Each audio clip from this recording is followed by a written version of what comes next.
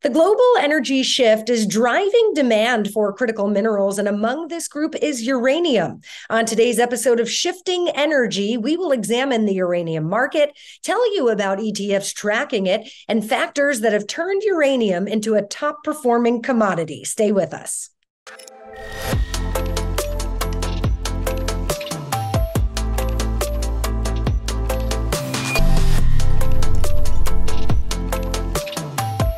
I'm Thalia Hayden with ETF Guide, and it's great to have you with us. Welcome to the very first episode of Shifting Energy, an original episode series that keeps you on top of big changes in the global energy transition.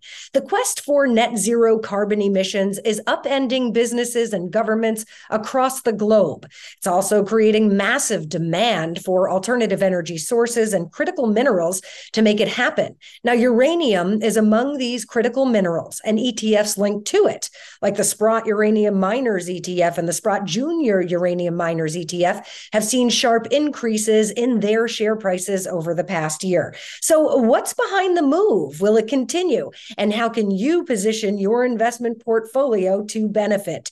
Here to discuss that and more is John Ciampaglia, CEO at Sprott Asset Management. Hi, John. Welcome to the program.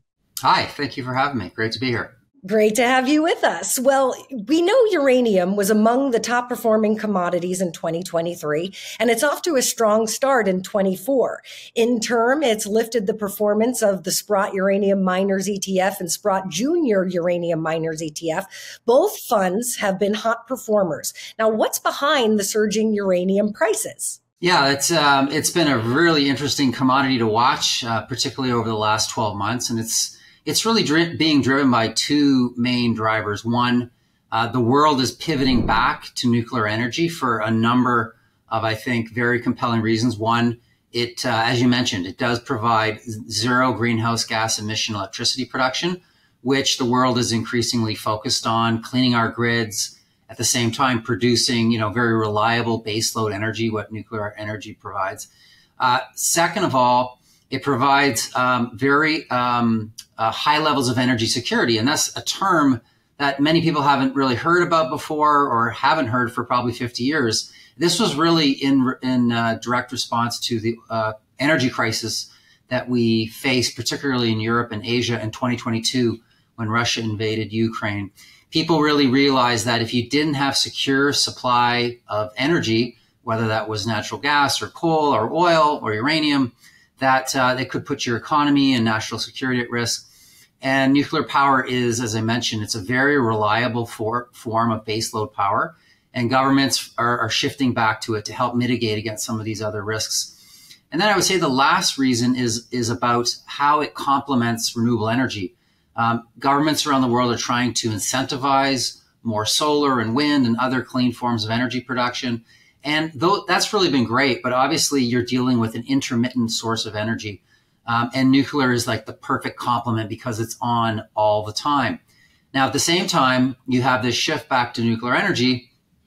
You also have the fuel that uh, that powers all of these power stations uh, is in a supply deficit, and that's because we don't produce enough of it to meet our annual needs. So, as you can imagine, when there's a supply and demand imbalance, uh, typically what happens is you have a price that adjusts to either incentivize more production, which is what the world needs in the coming decades. Uh, and that's exactly what's happening with uranium and why it went up 89% last year. That makes sense. Technological advancements are also impacting the uranium market. CNN, in fact, recently reported that next wave nuclear technology, also known as small modular reactors or SMRs, has kickstarted a nuclear power renaissance. Now, how promising are SMRs and is it getting any public support? Yeah, it's a really exciting development um, that the industry is is trying to capitalize on. When you think of a typical nuclear power station, these are uh, large power stations. They they power large cities and urban areas. There's about 434 of them right now in the world, uh, with 59 more being built and another 100 plus being planned.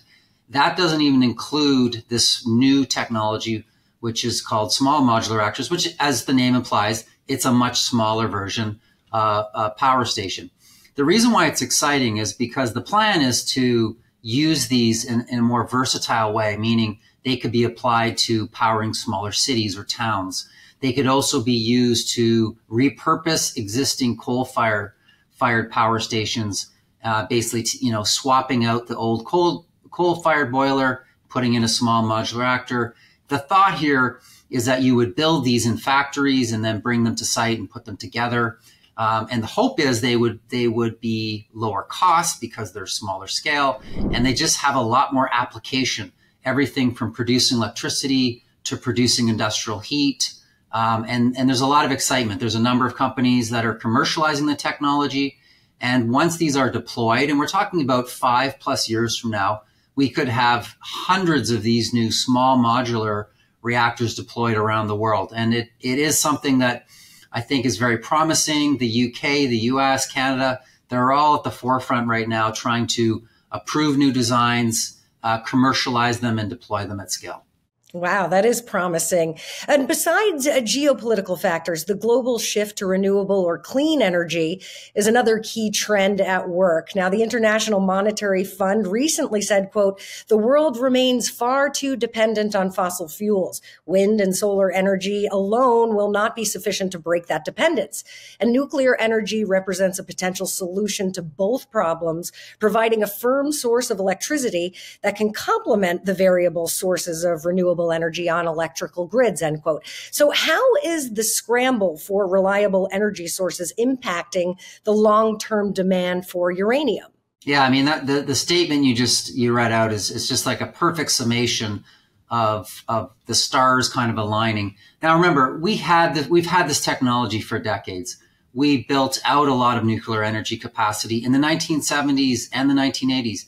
And, and that was because we were focused on energy security at that time after OPEC really squeezed and embargoed oil. So there are a lot of similar parallels that are happening today. Unfortunately, not all of them are positive, but there are a lot of similar parallels to what happened in the 1970s and 80s.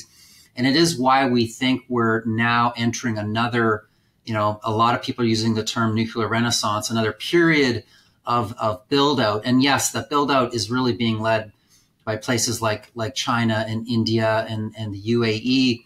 But we see a, a real strong commitment back to nuclear energy happening across many countries in Europe, uh, South Korea, Japan, the United States, Canada. Um, and we think this is going to last for not one or two years, but given the long lead times of these projects and energy policy in general, uh, it's going to it's going to be very supportive for the uranium mining sector for the coming, say, 10 to 15, 20 years. Wow, that's exciting. One of the unique features of the Sprott Uranium Miners ETF is that it includes exposure to both uranium miners and physical uranium itself. Now, this innovative design offers a fresh approach to the uranium market compared to an all equity approach. Can you tell us more about URNM's holdings and strategy? Yeah, well, uh, you know, a lot of investors, they look at the the supply and demand fundamentals and they look at the, the resurgence and interest in nuclear energy and they naturally say, you know, how do I get exposure to this in my portfolio? How do I invest in the sector? Uh, there's really only two ways. You can you can invest in vehicles that own physical uranium, and Sprott has one of those, or you can take a more holistic approach and invest in an index that holds uh, a whole slew of different uranium producers, developers, exploration companies, as well as including uh, some physical uranium. So it's a nice it's a nice way to play a higher commodity price as well as playing the companies producing uranium and that are going to be producing uranium in the future as they move their projects from you know development to, to actual production. So it gives you a nice cross section across the, uh, the entire uranium spectrum. Makes sense. Uh, besides URNM, your firm also manages the Sprott Junior Uranium Miners ETF. How does URNJ work and what type of investor could it appeal to? Yeah, so URNJ is um, is I guess an ETF that's designed to really play the companies that are very early stage producers or small producers and up and coming producers. So what we do with that particular index is we remove any exposure to physical uranium and we remove the two largest uranium producers in the world, which are pretty meaningful players. So you really get the next tier of, of up and coming companies Um, it's obviously going to be more volatile. Uh, the companies are smaller cap, they're less liquid, and obviously they're still subject to a lot of exploration risks. So it's for someone that wants to take more a more aggressive bet on higher uranium prices. So, so, then how do you see funds like the Sprott Uranium Miners ETF and Sprott Junior Uranium Miners ETF being deployed by both investors and financial advisors inside an investment portfolio? Yeah, I mean, we really see a, a wide range of applications in terms of how investors are positioning this in their portfolio. We often will find investors that will put it within their energy allocation. Again, this is another form of energy. Um, we sometimes find investors put it inside of a thematic related to energy transition or decarbonization. That's been very popular. Pairing it with renewable energy funds, that's another application that we see. And then finally, I would say we we find some investors just allocate this in their commodity bucket. It's an alternative way to get exposure to commodities. Most commodity indexes do not include any uranium whatsoever. They're obviously heavily weighted to oil and gas and agriculture and whatnot. But most of these bellwether indices to get uh, commodity exposure have zero weight to uranium. So it's kind of a way to tilt your portfolio to a commodity that you may be missing. Ah, we see. That was extremely informative. Hey, thanks so much, John, for the great insights. And we look forward to seeing you again soon. Yeah, thanks for the discussion. It was great. You're welcome. And that does it for today's episode of Shifting Energy. If you enjoyed the show, tell us in the comments section below by hitting that like button to learn more about the investment strategies and ETFs we discussed on today's program. Be sure to visit SprottETFs.com. I'm Thalia Hayden with ETF Guide. Thanks for watching, and we'll see you next time.